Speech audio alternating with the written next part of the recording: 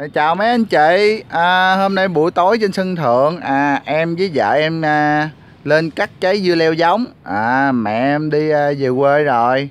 Kêu hai đứa em à, cắt trái dưa leo giống để để đợt sau mẹ về à, mẹ nhổ vàng mẹ trồng cái khác. Đây mấy anh chị xem nè. Trái dưa leo nè. Đó em em cầm lên cho mấy anh chị xem em.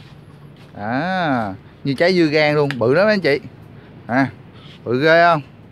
Ờ rồi dài hơn nửa cái thùng luôn à. À. Rất là bự chứ giống rất là bự. À em có em à, em có mang à, quá bự quá trời bự luôn rồi em có mang cái cân lên. Đó hồi em cắt sẽ cân cho mấy anh chị xem. Ừ. rồi giờ cắt đi. Cắt đi cắt cho mấy anh chị xem. À. Đó đó em có mang cái cân theo. Đây cái cân bên đây. Đến đây nè đó được nhiêu? Một ký mốt năm chục.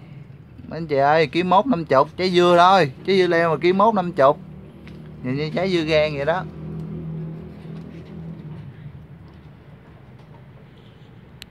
Rồi, để em chụp hình lại.